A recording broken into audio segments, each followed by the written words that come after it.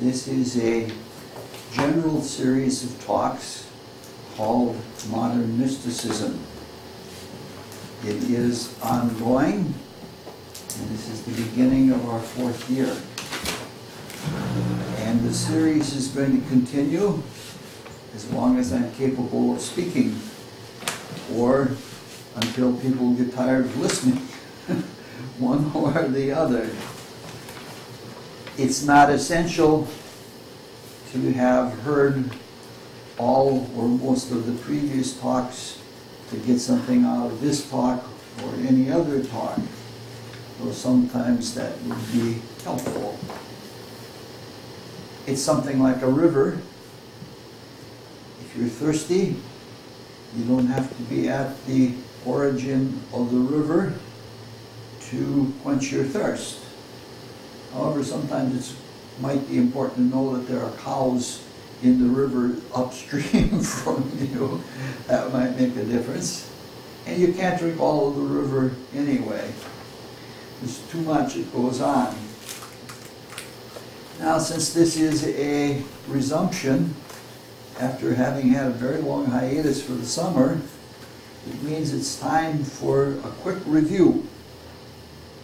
And I thought we might have some new people. A couple of new people were threatening to come, but I guess they didn't. And um, it's a good idea to review for new people or for ourselves so that we can be mindful of what we're trying to do and not just uh, you know, flowing along. These talks are meant to be an elucidation of Western mystery wisdom. That is, the mystery schools of the West. In some ways, all of the talks are introductory because we are all introductory students. We're all beginners. I've been pondering these things now for a half of a century. And along the way, I've had many unanswered questions. And uh, much of the material that comes out in these talks is not just a representation of the um, material that I have read or studied in various places. It's not just that. It is what I have encountered and the understandings that I have come to in trying to answer some of those questions. So, we're going into the spiritual worlds which are in some ways an unknown to us.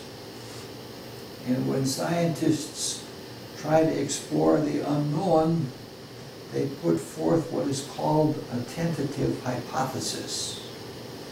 And the tentative hypothesis is sort of a guess, but it's based on previous experiments and previous experience on the part of the scientists.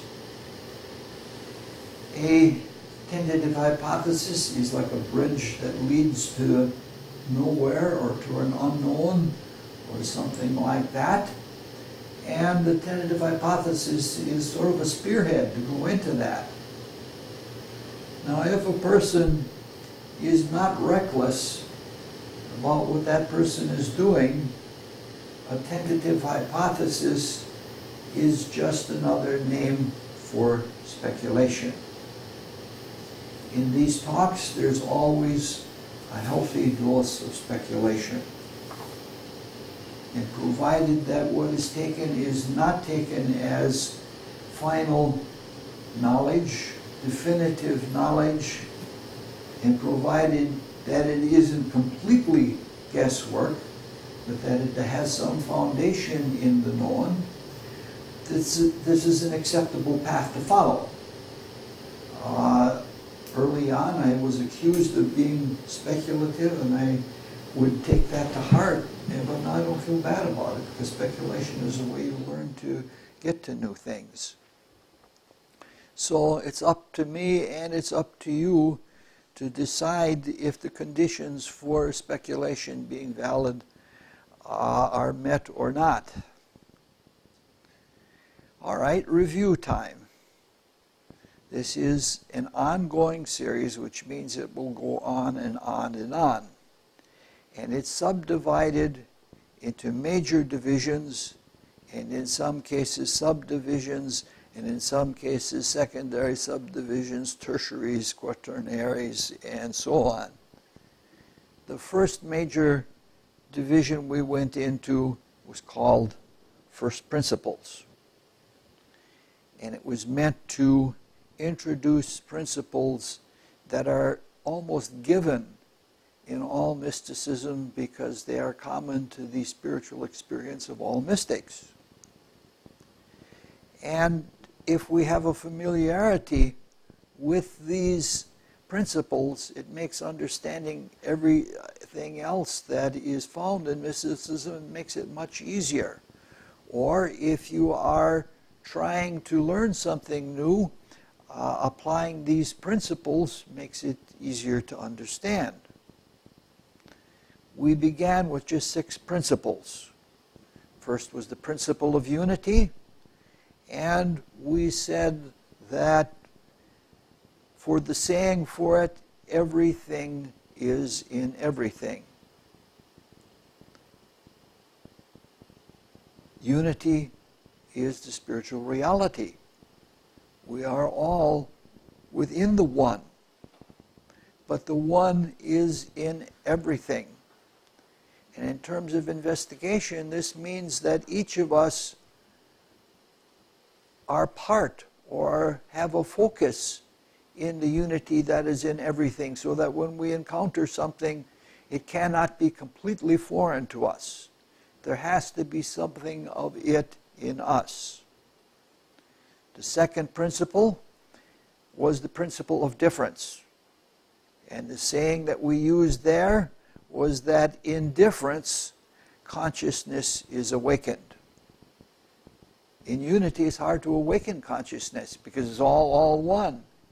But when you encounter two different things or one thing changes to something different, in that difference is where you become conscious of things within the unity. This is, in a way, one of the absolute reasons for the whole evolutionary creation is to produce difference within so that new consciousness can be born. Then we looked at the two basic kinds of relationships between the first two principles. Unity and difference horizontally are in the principle of action and reaction and that is in any state of consciousness, there is a relationship between a cause and a consequence. They're just two sides of the same thing. It's like saying that you can't have a coin that doesn't have a backside to it. And so the unity is maintained across the bridge of time or across the bridge of action or action and reaction. In vertical, the difference in unity are found in the principle of analogy, which is the most famous of all things in all branches of mysticism, the Hermetic axiom. As above, so below, what has gone before in heaven will follow after on earth. Know this and rejoice. This means that if we can analogize anything that we are experiencing, we can see it from a higher level. Or if we want to make manifestations of a principle or some activity that we know, we can analogize it and subduce it to a lower level of experience. So there is unity no matter how different the plane of consciousness or the degree of differentiation within the unity. And all of these differences, and it's obvious that unity pervades and permeates all of the different states of being. And so the uh, fifth principle we looked into was the principle of withinness, which is probably the hardest one to understand. And um, it is stated frequently in St. John's Gospel. I am in the Father, and the Father is in me. Or, I am in you, and you are in me. There is a withinness, so that it isn't just a blank outwardness as we understand the world outside of us. We see it all right in front of us, and we don't see that there's something interpenetrating. Obviously, according to the principle of unity, if we have something in us that is in everything else, there has to be a withinness. Then the last principle that we discussed was the principle of compensating extremes. Mysticism is not a way of life that is moderate. Things in the physical world have to be moderate. You can't eat and eat and eat and overeat. You have to be moderate. But mysticism finds that what we call reality is balanced between two opposite extremes. And that by maintaining those balances within ourselves, we have spiritual health. According to uh, the psychology of Carl Jung, he says that psychological health is when one maintains two balances and does not go to one extreme which begets the other extreme. The way of compensating extremes is stated in the principle of the brighter the light, the darker the shadow. So there's a conservation principle in unity. Uh, that, unfortunately, that image is one from the physical world and it doesn't hold really, really well. Now, we did have one other one along the way that I didn't put into a list. I'm not a very good list maker, and that was the principle of macrocosm and microcosm which is a specialized case of as above, so below. That the relative macrocosm provides the field of experience that is undifferentiated, and the microcosms take that field of experience and carry out their creative and evolutionary work within it, and they carry out the details for the great creator who creates the macrocosm. All right, after we looked at those general principles, which are now up to about seven or eight. We then began the second major subdivision. And that subdivision is the subdivision that we are in at present. The major subdivision has is called spiritual worlds in macrocosm and microcosm. Or if you want a simpler title, spiritual cosmography, the mapping of the cosmos. We then began looking, beginning from our experience and working more and more into the spiritual worlds as we went. We looked first at the physical world as a subdivision within the unity of our solar cosmos. And then we did a secondary subdivision. We said that the physical world was divided into the chemical region, made up of the solids, liquids, and gases, and the ethers. We looked at the solids, liquids, and gases in a way that they are not looked at by the physical sciences, just to uh, open the way to other investigations and to see the world differently than it is seen and assumed to be by materialistic science. We didn't spend a lot of time on that because, uh, you know, we, we have uh, enough of that. We then, then the, did the other half of the secondary subdivision in talking about the ethers. And we spent a lot of time talking about the ethers, especially many characteristics of the ethers, because they are our uh, next step the next work we have to do in evolution. We have to do everything in the ethers that we do now in the uh, chemical region, except that we have to do things that are particular to the ethers, and we have to adapt the experience from the chemical region that we have had into etheric uh, workings. Now, this summer, for summer school, there was a series of talks called uh, Building the Soul Body, which was also all about the ethers, even in the astrological part of it. But that was not as extensive as what we did in these talks. So we did, went quite into detail, and uh, I hope that it was beneficial.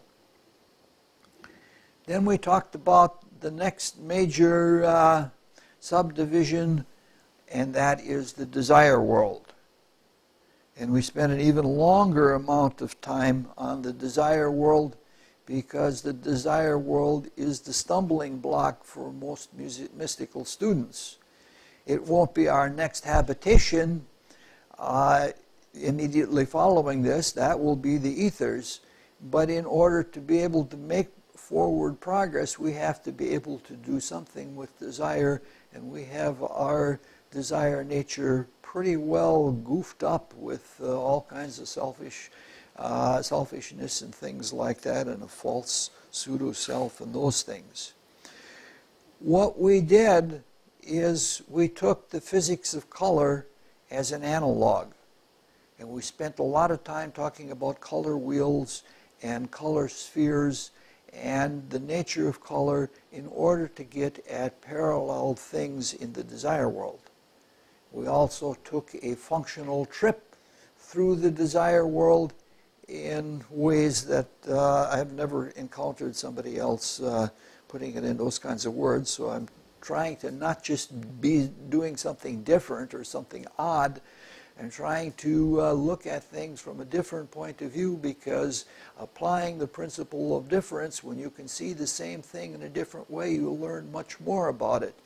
And so that's one of the purposes for these talks is to get myself and to help other people to see the spiritual worlds and their experience in them from a different outlook.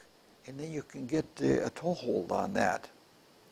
Now, in the last meeting last spring, we finished up, we began the new subdivision in cosmography. And that is, we began to talk about the world of thought and in microcosm, the mind. And in that talk, we noted most especially the difference in the same, uh, that is analogous to what happens in the physical plane. In the physical plane, there is the chemical region and there is the etheric region. In the world of thought, there is the region of, the region is not the right word, subdivision is the right word a subdivision of concrete thought and a subdivision of abstract thought. And uh, we're going to spend a lot of time on that, mostly beginning in the, next talk. We'll have about three, more, three or four more talks on, on the world of thought and thinking, and then all the rest of the higher worlds we're going to discuss together in a special sub-series. Uh, but that, you know, that's, that's way into the future yet. All right. Um, we said that everything that we've talked about so far has been concrete. Certainly, the physical world is concrete, the chemical subdivision, the solids especially. Everything has a beginning and an end. The everything through the region of abstract thought and on into the higher spiritual worlds is abstract. Everything is universal. Everything is more noumenal. Everything is more transcendental. Those are all qualities that talk about things from the region of concrete thought back into the spiritual worlds. All right, now we're ready to go forward. And um, as a segue into understanding how we think and why we think we're going to tell a story. In fact, this one I had to hold myself down on this one because the whole night could have been telling stories. Uh, we'll use the story to work our way into the subject in a very odd way, And next time we'll use the story in an even better way to get at uh, the subject of thought. It's a very deceptively simple story, but it's very amusing, and there are a lot of moral lessons in it.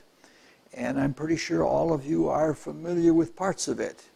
It's the story of King Midas, whose name is derived from the Greek mitas, which means seed.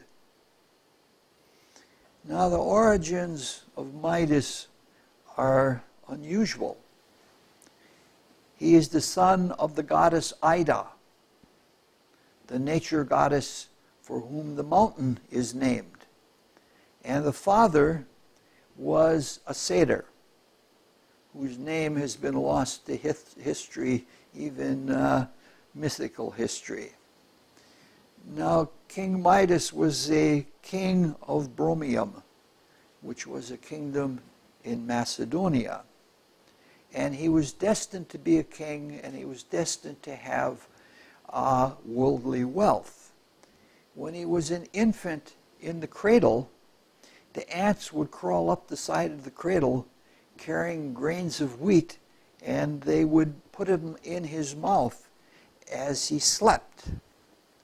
And the soothsayers were called in, and they said this was an omen of the fact that he was going to have great wealth. Even in mythology, the circumstances that we find ourselves in are not accidental.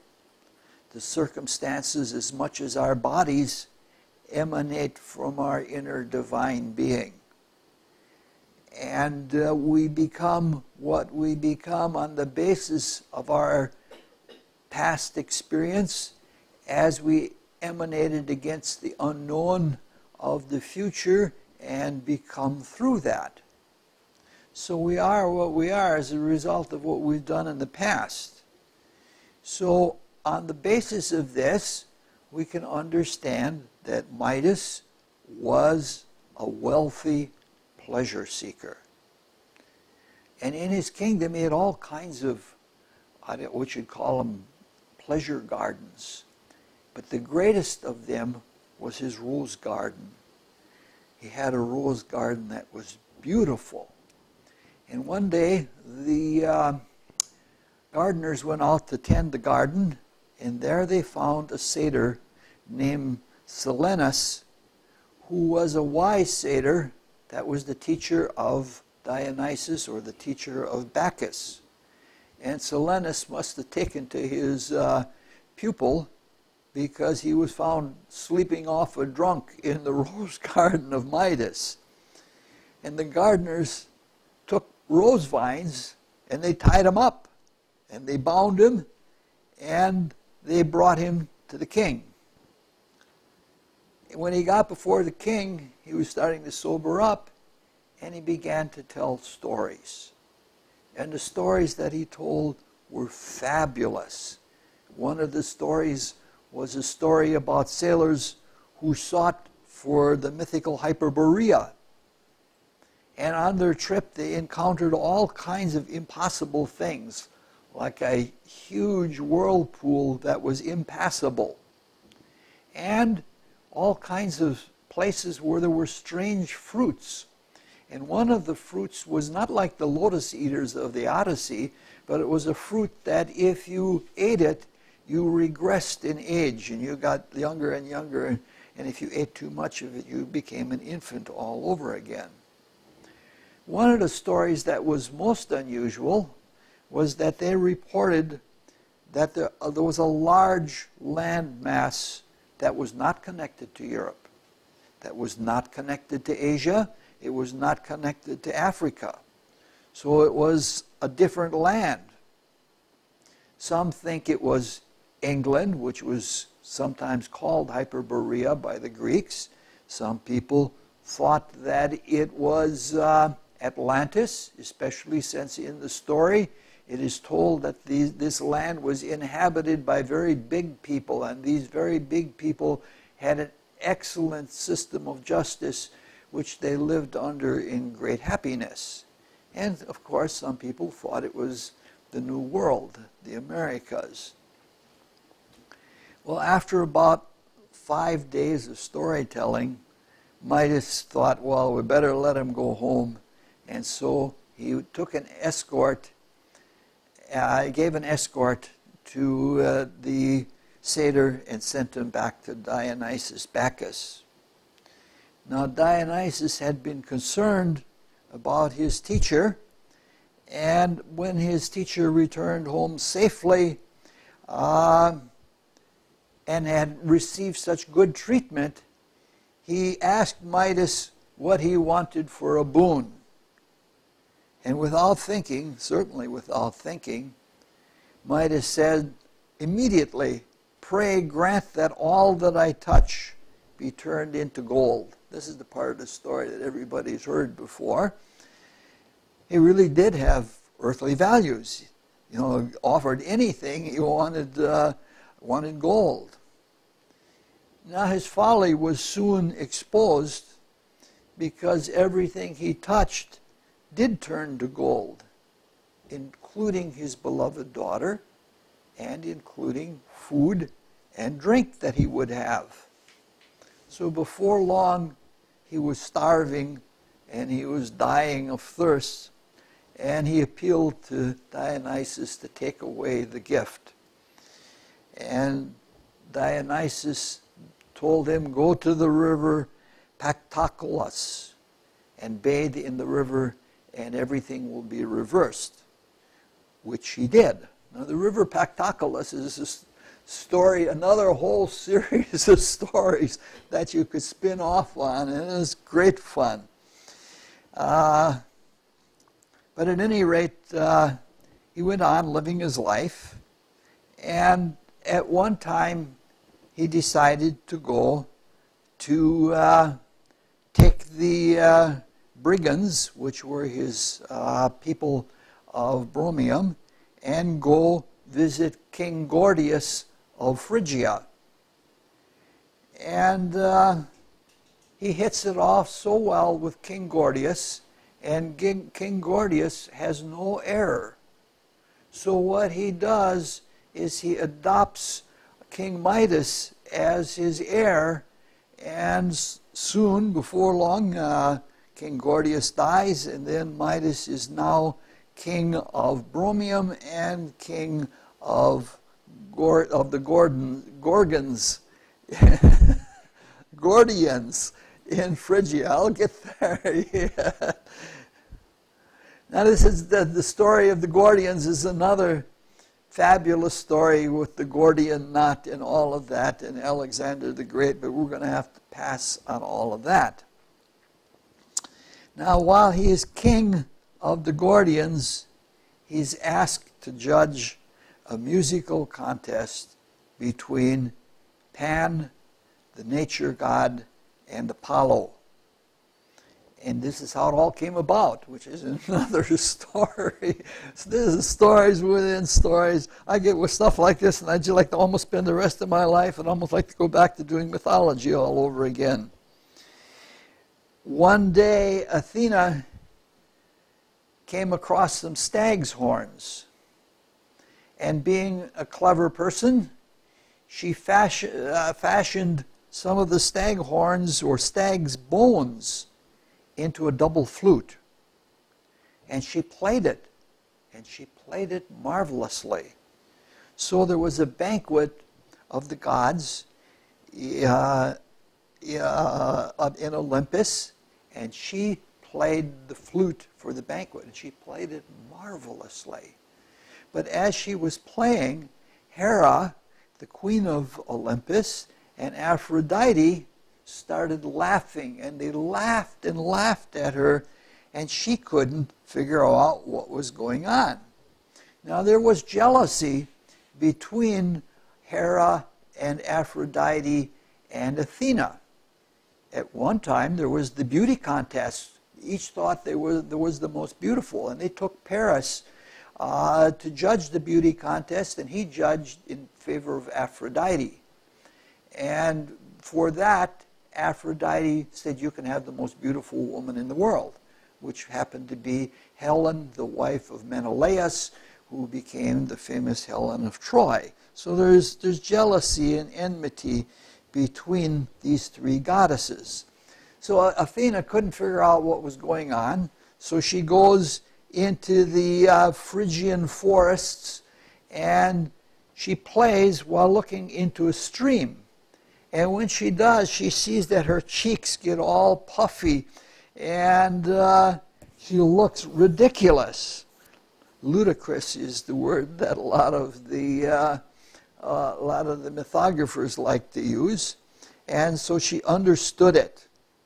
And when she saw that it made her look ugly, she just threw the flute down and she put a curse on whoever took this flute up would be cursed. And so she went back to her life as a goddess. And uh, another satyr, Marsyas, was going through the forest. And he goes through the forest and he stumbles onto this flute. And when he puts the flute to his lips, it plays itself automatically. And he thinks it is wonderful. And so he starts playing a lot. And uh, he is in the train of Cybele, the goddess that is the counterpart of Attis. And all of the people just love what he does. Now, Apollo, who plays a lyre, a seven string lyre, that he hears about this and he gets jealous. And uh, we could go into a, the story of the seven string lyre, and we'll go into that a little bit next time. But he's jealous of Marsyas, and so he challenges Marsyas to a duel, and the winner of the duel can punish the loser however he wanted. And Marsyas thinks he's got a good thing because he's got a divine flute.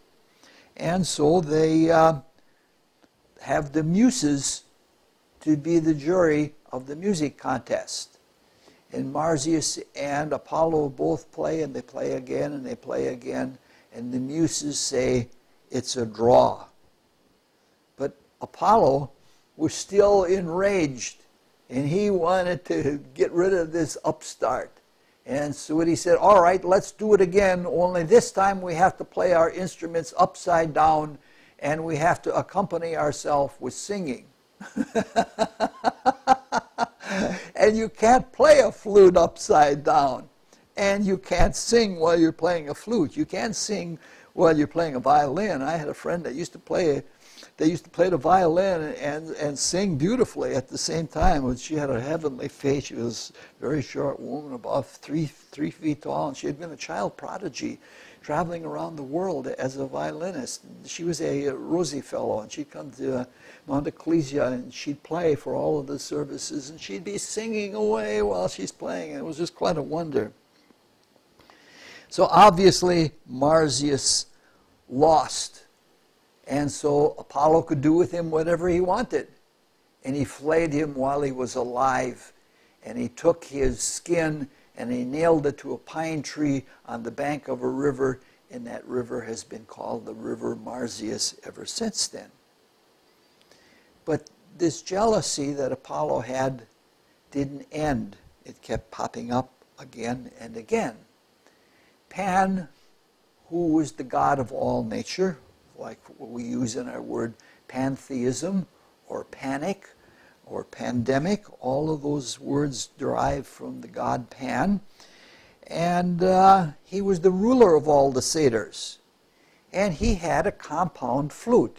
You've all seen them. They're, they're, they're called Pan's pipes. And it was a wonderful instrument for playing simple melodies, not the harmonies like you can get off of a lyre like Apollo had but it was simple music. And so the simple people, the shepherds and the peasants and other simple people like that, uh, loved the music. And Apollo again became enraged with uh, jealous anger and challenged Pan to a music contest. And since Midas had been present at the first music contest, he was asked to judge the second music contest. And as a co judge, there was a river god that uh, also was uh, a co judge.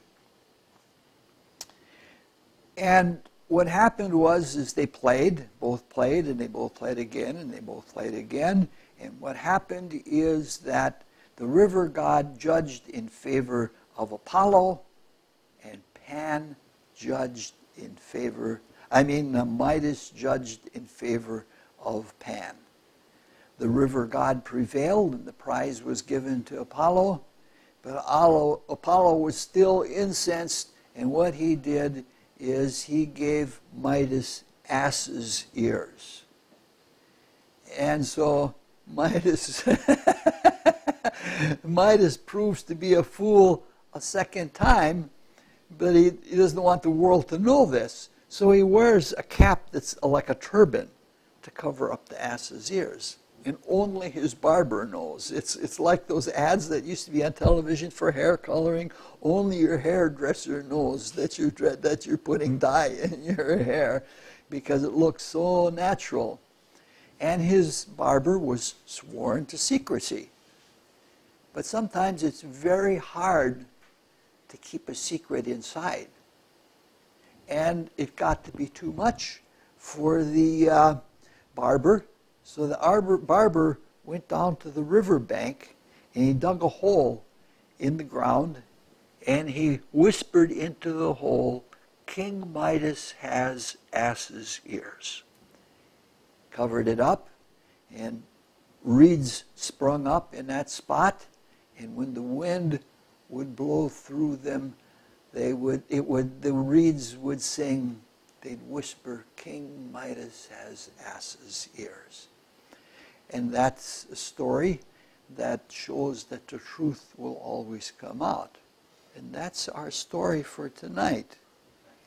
Now, now we have a very big question, and that is how can there be two relevant talks about thinking from that story? Well, the first talk will answer the first part of it. And there's a really simple answer to the question. The contest is about music. And music is about tone. And modern mystics concur that the world of thought is a world of tone. And in this, it completes one of the triads of fundamental principles of cosmology. In the physical world, which we began with, shape or form was all important. That's what physical things are. They're forms, physical forms. In this world, that's, that's important. That doesn't mean there isn't color here and that there isn't sound here. There surely are. But they usually aren't important, especially to just plain physical existence, as form is. There is even a relationship between physicality and mass and shape, even in atomic structure or crystalline structure, and the things that make up the physical world as we saw over many talks, color is the determinant principle in the desire world.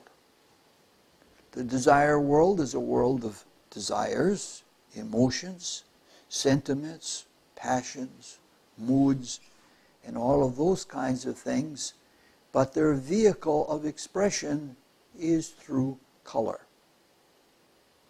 Color isn't the meaning, but it's the vehicle just as the shape is the vehicle for physical expression. Now, the human desire body is only in its second state of evolution. And as a consequence, it is less developed than the dense physical body, or even less developed than the etheric vital body. But even in this nascent state, color is far more important to that world and that vehicle uh, than anything else.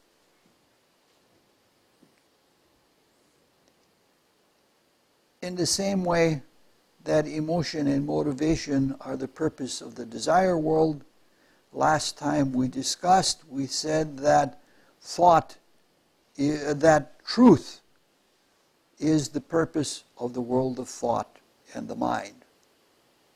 And analogously, in the same way that color is the vehicle for emotion, for motivation, sound, not sound, tone is the vehicle for thought and for the truth that thought bears. In the world of thought, there are colors, and they're brilliant. There are colors here, and some of them are brilliant. But they aren't essentially what uh, the world of thought and the physical world are about. The fundamental purpose of thought is to be a vehicle of truth. And truth is expressed in pitch, according to the mystics, or in tone. And it pervades our culture completely. It's found mostly in our language. Probably the most common example of it is we hear someone say, it sounds true to me. Or another example from our language, we say something has the ring of truth, or that rings true to me. If someone is trying to desperately convince us of something, we say he's pitching his point of view. And whether we like it or not, people speak with a tone of voice. And if something is, some, is imperfect, we say it's off key. So these are examples that in our culture uh, we have we use tone or sound to, to be a vehicle for truth even the volume of sound. If a person runs out of arguments and they're still clinging to their point of view, they start substituting volume. They start speaking louder and louder, hoping that the volume will substitute for the lack of truth that they have in the argument. So these are all examples uh, of sound, which is what most people experience and not tone that is in the world of thought. Now, the dense physical body, as we said earlier, is our most developed and our most perfected vehicle. It's a wonder, it's a marvel. All the things that go on in our body, and they all work. Now and then we get an illness or some kind of condition where they don't function well, but considering the complexity and the intricacy of it all, our body is really a super marvel. Now, our body relates us to this physical world. Now, our time in the physical world, both in the life cycle and in the grand cosmological or cosmogenical cycle, our time in the physical world is very short. Therefore, it's exceedingly important that we get the most out of it, especially since we can only develop conscious soul, which is necessary for waking consciousness here in the dense physical body. So, the days of the physical world being here as it is now are numbered. It's not going to be like this anymore. So it is important that we do things in the material world. But we have done things to excess so that we have taken the physical, outer physical world as the be all, end all of all things. And because we have fallen, we have closed off the clairvoyance that we had earlier and that we were intended to carry through our physical existence. And so we are isolated here in the world of senses. We're isolated here in the material world, and we therefore have developed over many millennia a preoccupation with the material world.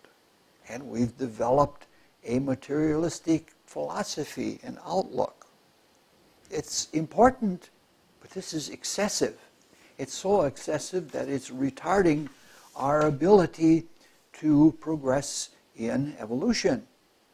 And it's so excessive that uh, a little bit more focus in the inner spiritual worlds would make things more uh, effective. More, you know, we would get much more out of the material world if we could relate it to the intent that comes from the worlds of meaning. It's counterproductive to be as materialistic as we are now.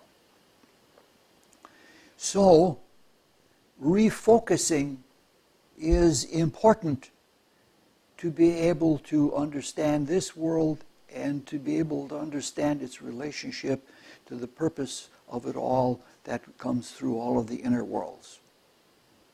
Just a little bit of refocus helps us to live more efficiently here. So, it's not surprising that we know a lot about sound, but we know very little about tone. Now, as individual truth seekers, we want to determine whether the claim of the mystics that tone is the vehicle of thought in the region of concrete thought, whether that's true. And in order to do that, we have to know for ourselves. And to know for ourselves, there are two things that we have to do. The first is that we have to be able to withdraw our consciousness from the dense physical world and not allow it to completely occupy our attention. Some people do a lot of thinking, but their thought is all about material things or the interpretation of material things and they're not pure intellectual things. They aren't thought about thought within thought. Not that at all. Now, this withdrawal from attention to the physical world doesn't mean that we try to permanently escape the outer world or that we eschew and denigrate the senses. Some schools of thought do that, but Western mysticism does not. We have a duty to this world, and it has taken us an extremely long time to evolve those senses, and it is important that we use them. But we have other things that are also important that we also need to use. We're not trying to get out of here. Mysticism, Western mysticism, is not escapist. Mystics from the Greeks onward have taught such a withdrawal is necessary to come to higher consciousness. Now, as a voluntary, controlled activity, this is not easy. We can knock somebody out and have them half in and half out of the body, and they can be withdrawn that way, and sometimes have experiences in the inner world. Probably not the world of thought, though. So the outer world has been almost the exclusive domain of our consciousness for a long time. We habitually rest our attention on it. So to withdraw requires great self control. It requires intention and other virtues. Above all, it requires a love of subtlety and the kind of discernment that goes along with an appreciation of subtlety. Last of all, it requires an open minded attitude and a willingness to have a change in outlook. Now, many people believe that even their desires are not under their control. And the world of desire world is more gross than the world of thought. So it's not surprising then that most people think that thoughts just happen. They happen and we have little to do with it. It's something that takes place for most people, they think, in their brain. Cultivating a thought life and an emotional life is something that very few people do. It's a very long, slow, demanding activity, but it's worth doing. You have to watch yourself and see when you're thinking about the things of the material world.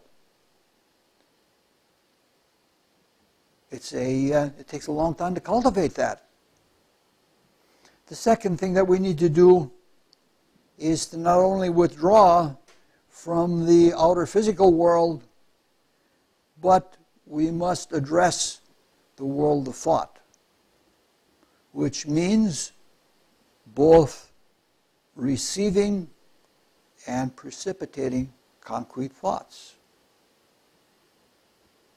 This means that we treat thought as a valid reality, a valid reality that is at least as important and valid as a state of existence as the physical world. To the degree that we can do that, we dispel a lot of illusions and our ability to think and to think creatively so that we see things in a new way. We gain great discipline thinking about the physical world, but to be able to uh, think in a different way is, you know, that's something we need to learn. One of the things that we learn, one of the illusions that we get is that thought is evanescent. Now it's here, now it is gone. Now, it is true that we, as thinkers, cannot sustain a thought for a long time. But that's not the nature of the thought itself, that's the nature of our ability to think.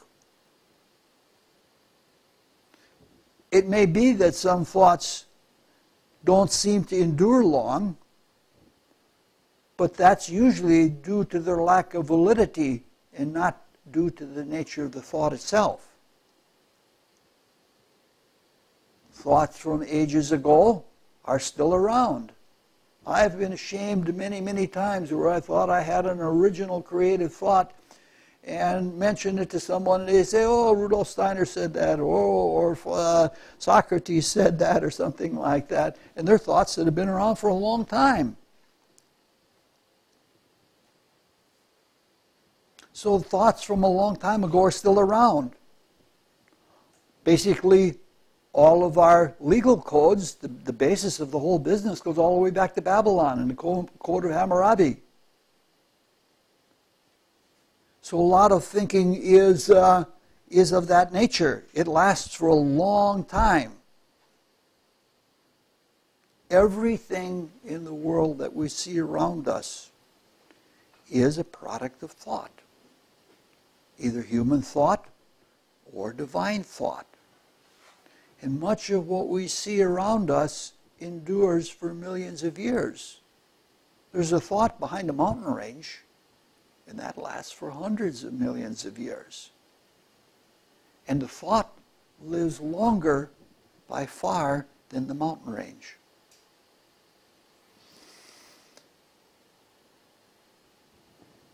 Like many of the things that are claimed by mystics, the statement that tone is the vehicle of thought can only be proven by our own experience. But for mo- most of us, we take it as a belief or we take it on faith because we have not that kind of thought life. Doesn't mean that we're completely devoid of experience, because we all have some of that experience. If we follow a legal argument or a mathematical proof, or we listen to a line of music that a musician creates, we can recognize right away, oh, that's Bach, or that's Sonny Rollins, because it has the stamp of the thought of that musician. And the way different people write legal judgments or legal arguments, it has the stamp of their thought. And in a way, that is the beginning of reading their tone of mind, the way they think. The very fact that tone is the vehicle of thought and thought is universal is clear that music is the universal language. No matter how disparate uh, cultures may be, and, and no matter how little exposure they have to each other, music transcends that. And it's something that is had in common. Now, most of us have at some time or another had the experience of picking some of someone else's thoughts up. That's usually not from the world of thought. It's from the uh, uh, reflecting ether, positive pole the reflecting ether, but there is a special resonance between the world of thought and the reflecting ether, so that the loss is that what is lost between the realms is not a complete loss. But if we read someone else's thoughts, even in the ethers, it sounds very similar to their voice because that is the key of their being. The way each of us creates our life and our bodies and the whole total personality that we go through, that's all created by thought. So it should be that the way a person thinks we can hear the way they think by the way they walk, if you want to get to that, really. Speech is a further expression of thought. Now, if someone withdraws the attention from the clamor of the external world and redirects it to pure thought, illusions are dispelled. We just discussed the idea that thoughts live for an extremely long time uh, as one of the illusions. Now, each of the successive worlds that we've been talking about, even the uh, subdivisions, is each of those in the direction we've been following them is more subtle.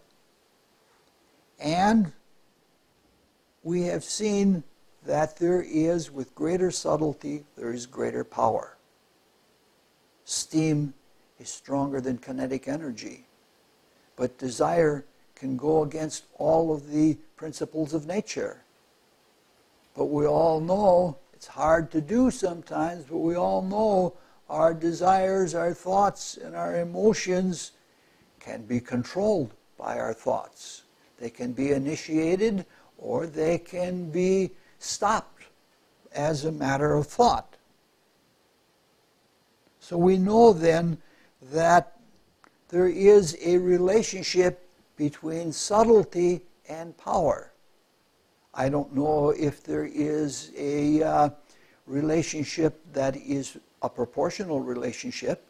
Uh, Pythagoras used to think so, and he used to think that each of the worlds was like a different note on a scale and that uh, there was a proportional relationship so that if you knew the music of the creation that you could uh, tune in to any different realm or sub-realm that you wanted to do.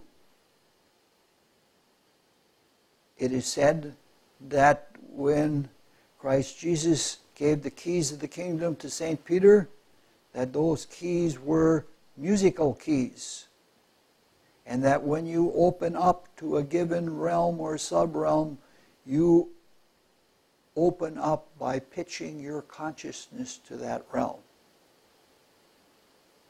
So, what we're talking about here is then that there is great power in thought. One of the illusions that is dispelled is that thought is quiet. Now, all of us have had tunes that go through our head, so to speak, that we get, we had, they get stuck in our mind, and we hear them again and again and again. They seem very quiet. They seem almost silent. But what is reported by mystics is that when one accommodates one's thought to the world of thought or one's consciousness to the world of thought, it's not that way. Some thoughts are stronger than others, and some, some thoughts are boomingly strong. At first, the music of the spheres seems quiet, seems like one of those little tunes going through our head. But the more we understand, the more we become living in that world, we recognize that it is very, very powerful. Now, when we spoke of the desire world, uh, in macrocosm, we said that the planetary spirits are continuously replenishing the desire world with renewed desire energy from their being. Analogous to the way that the desire forces in our desire body go in through one of the vortices, and then in the inner dimension they are purified, and then they come back out through the great vortex in the liver. Similarly, the planetary spirits are dumping new colors, so to speak, into the uh, in, in, into the cosmos, and this is what we read uh, astrologically. There is one zodiac for the solar system, and there's another zodiac for the Earth. There's a, there is a central heliocentric sidereal zodiac, and then we have a local one that relates to human things in the tropical zodiac. And the point of view, each person, in the same way that each person has an attitude or a set attitude that responds differently to different things that are coming from the planetary spirits, so each planet has its own attitude and it responds according to what is being given into the cosmos in, in, in a parallel way.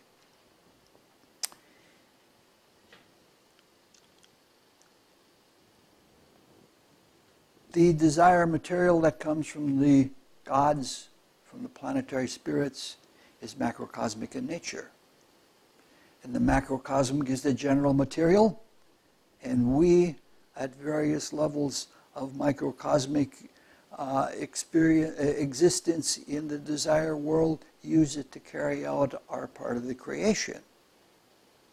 Now, there's something similar in the world of thought. Each planetary spirit intones its keynote, so to speak. Collectively, they are called sometimes the seven thunders, sometimes the seven words. Uh, various different myths and scriptures have different names for them.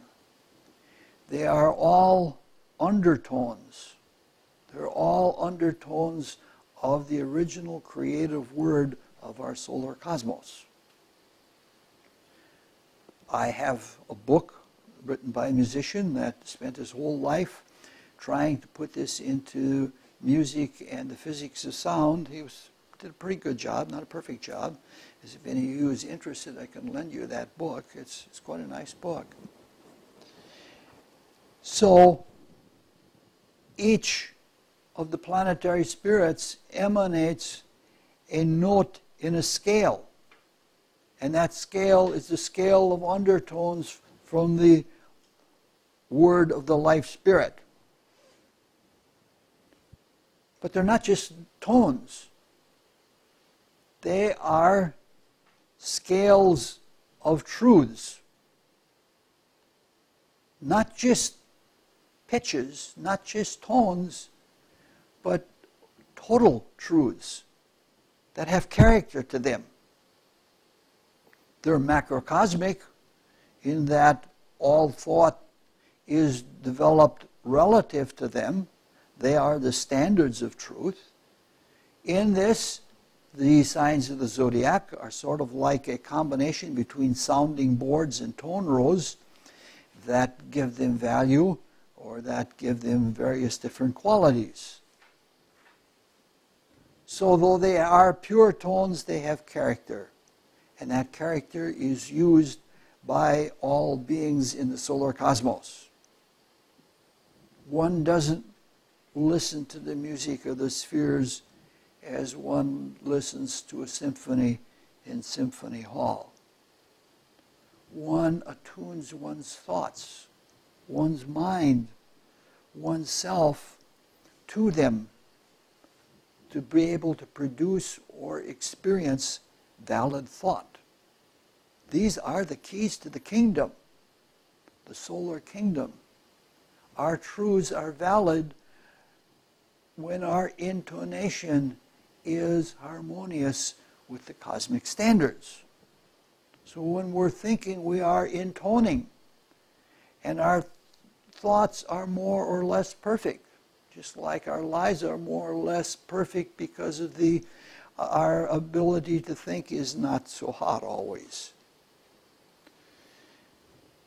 There's much more to logic than we get in philosophy classes at school. The planetary spirits are living truths, and they have a character, and that character is the basis of astrologic, psychologic, all of those higher states. You know, I'm trying to say a, a thought of this level is a very, very large thing. And to try to understand a whole thought, a whole tone from one of the planetary spirits is almost overwhelming. Now, there are more things than a person can hear at first experience, especially since our first experience is intermittent, sometimes 20, 30 years between an experience of hearing the music of the spheres or of hearing truths on that nature. But it begins faint, but it doesn't remain that way. All right, we have uh, opened up something that's way too large to go into now. Hopefully, it has awakened interest in people enough so that they're willing to take action and uh, to listen inwardly, if nothing else. I have that book if anybody wants to read it. It's a little bit technical, but not too bad. Now, at one last thing before we uh, move on, because we might not get to this point again. One of the tenets of mysticism is that everything in the concrete realms begins in the world of thought. Then, since everything in the world of thought is a tone or is a pitch, everything in existence must have a pitch. So, when science is saying that everything in nature is vibratory, or that there's a keynote to every structure, they're saying something that is in the physical mani uh, manifestation of the cosmos, that is expression of the same thing that mystics are saying that thought or tone and the pitch that comes from it is behind everything in manifest creation. We'll come back to that another time. All right, next time we'll use our story again. Only next time we'll stick closer to the important element in the story because what we're trying to do is we're trying to get to what our activity is when we think. A lot of people don't even think. And those that do are not self watching and knowing what they're doing when they're thinking. And we are people that want to know the truth. We want to know it so bad that we're willing to put in all the work and all the sacrifice that is necessary to know that. And so we want to talk about that with regard to thought the next time uh, we get together. That's it.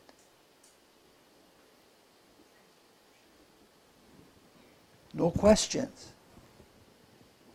Um, I have a comment, because I've just stumbled on this, the Jesus quotes, poor in spirit and rich man passing through the eye of a needle. No rich man can ever pass through.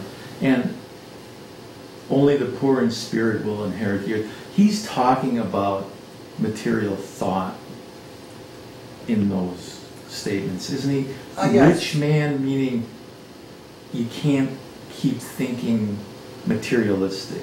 And poor in spirit means not thinking materialistically. Is that Exactly. Yeah. Yes.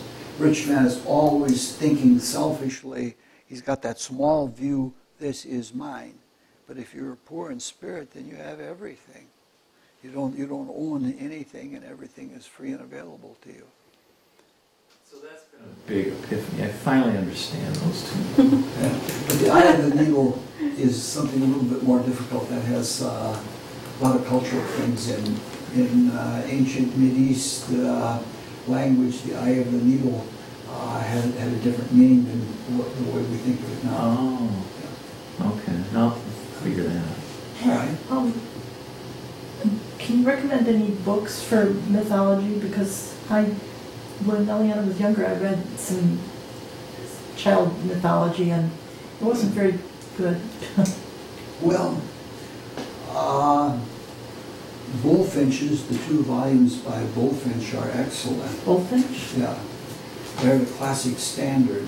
And if you want something very, very technical, just on the Greek myths, it is the Greek myths in two volumes by Robert Graves. And I refer to that a lot because it's, it's a really good book.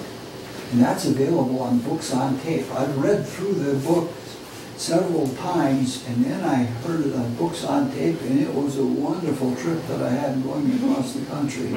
Robert Gray? Robert Graves Okay. the uh, British poet who's a very Are you talking of the idiosyncratic- golden bough? Huh? Are you talking of the golden bough? No, No, I have the Golden Bough. Uh-huh, That's that's really super technical. That's that's about ten volumes. I got it on the shelf in there, and I've never tackled the whole Golden Bough. That's by Sir James. No, books on tape is wonderful for mythology Yeah, because it is it is an oral tradition. yeah. Wow.